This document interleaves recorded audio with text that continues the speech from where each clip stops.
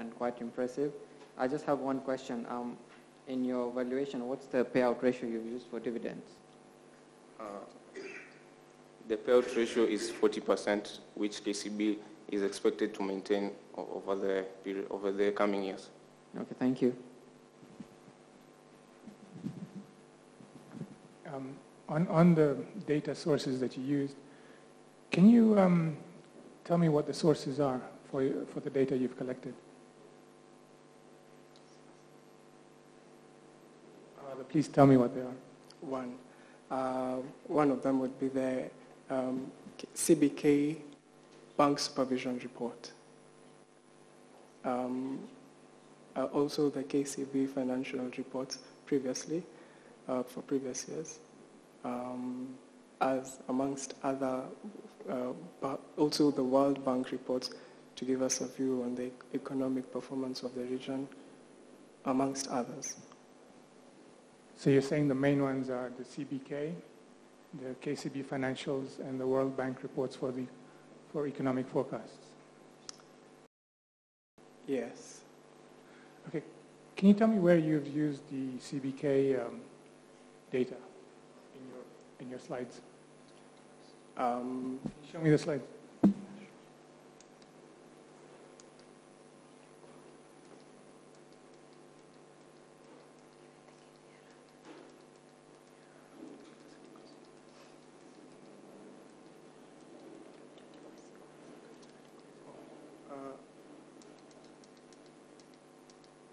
Okay, um, getting the minimum uh, capital adequacy ratios, we got that from the CBK reports, um, from the prudential guidelines.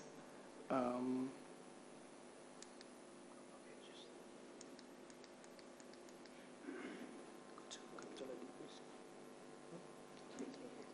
um, also the KBRR, information about the KBRR, we got that from the CBK um, website and also some of the reports. That's it.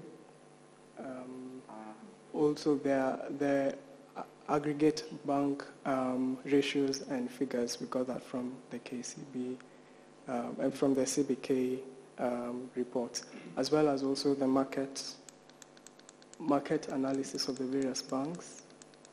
Okay, here I'm looking for the non-performing loans and the Kenyan market in the mm. banking industry. Did you consider that data from the CBK? Yes. And if you did, where is it shown and wh where is the effect of that shown? Um, uh, this, yes, this is the, this is the um, Kenya banking sector's NPL ratios. Um,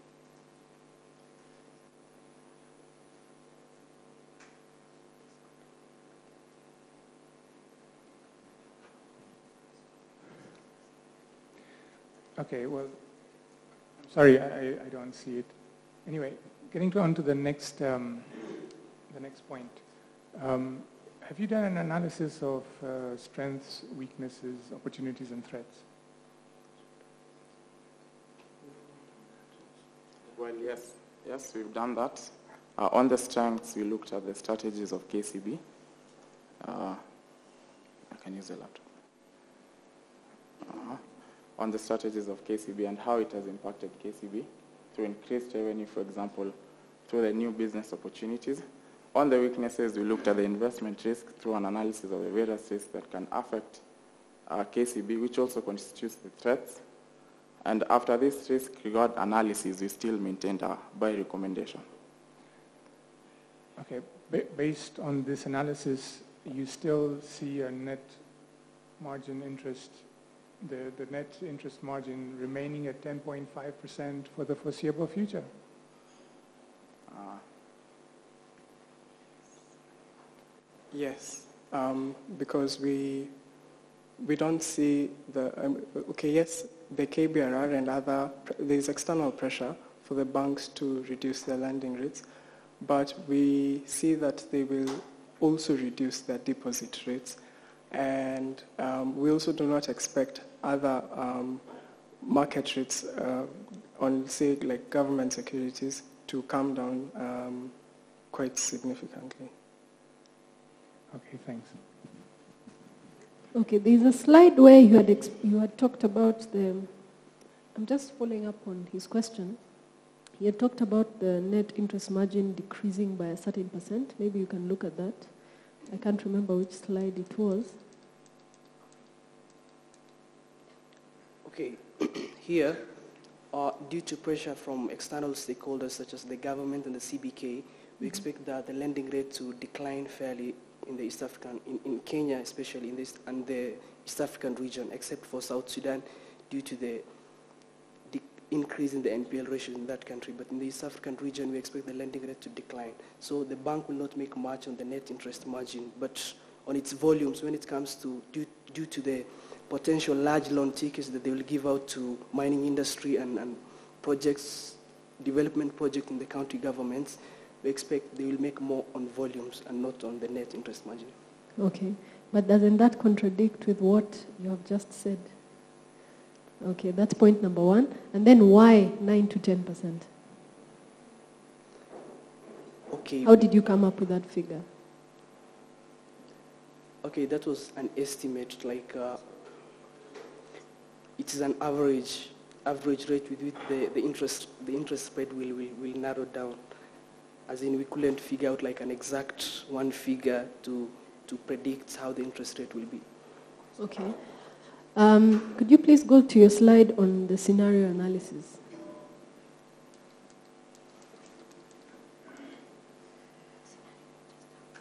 No, this is a scenario analysis. Okay, in terms of coming up with the base case, the worst case, the best case, what did you put in there to come up with the base case? What did you, I mean, what did you put, what variables did you put in to come up with these cases? To say this is the worst case, this is the best case? Uh, The variable that we put in is the average growth rate of customer deposits of KCB Kenya. This we got from the banking survey, taking average for the last three years.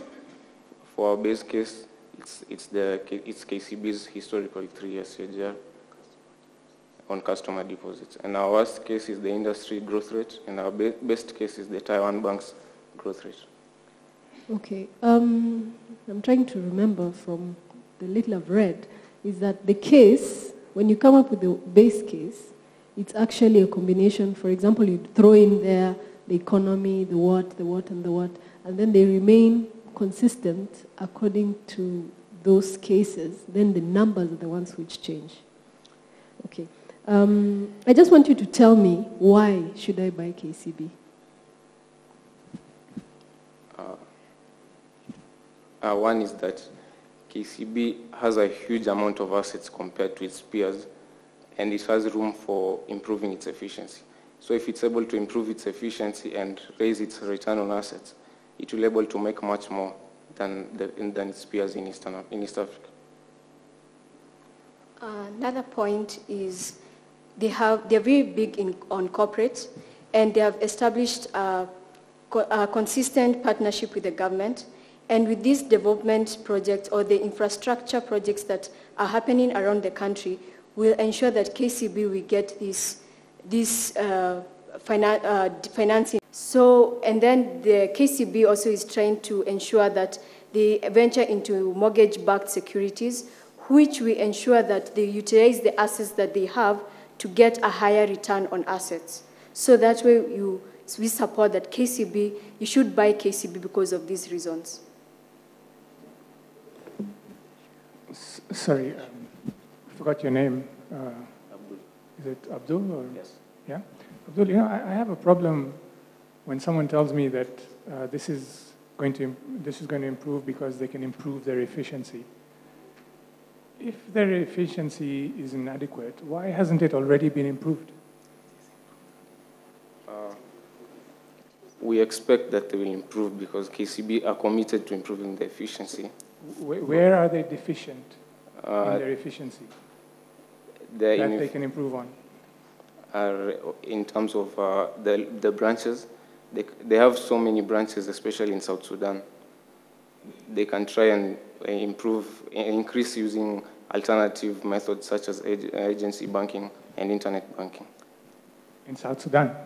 in, in, all, in, all, the, in all over the region. But if you look at uh, their latest financials, the number of branches has actually gone up. So does this uh, go against your assumptions? Uh, the, the branches have gone up, but the agency banking through the agents have risen at a higher percentage. So this shows that 2014 is a really good year, and management is key on uh, sticking with the agenda of moving from brick and mortar banking to agency banking and mobile banking. Agency banking has really performed well. For example, in 2014 alone, according to the latest quarter three results, they have, they have collected 9.2 billion shillings. This will increase their customer deposits and also effectively increase their loans. And their loans for the three months, they, they have disbursed 500 million through Biashara Smart, which is another innovative product.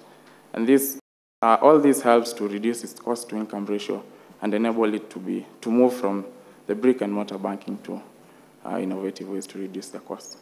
Okay, Thank thanks for the presentation. Um, on the growth of customer deposits slide, you had the previous CAGR at 15.8, you've slowed that down to 12.1. Is there any reason for that?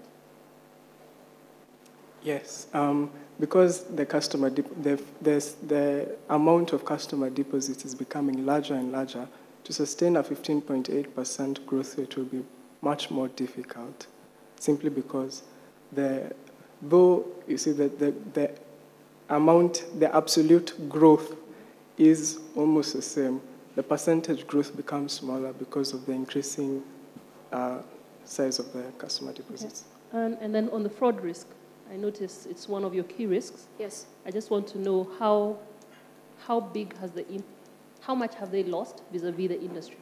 Are they the worst? Are they, The problem with this, uh, the data for cybercrime, it's very hard to consider uh, to to consider uh, to know how, how much that KCB has lost because they want also to protect their interests so not to, pre- to prevent even their customers not to withdraw from the um, uh, from their to withdraw their accounts basically, but the Deloitte report, they say that East African banks have lost more than 4.1 billion Kenya shillings in, in reference to fraud.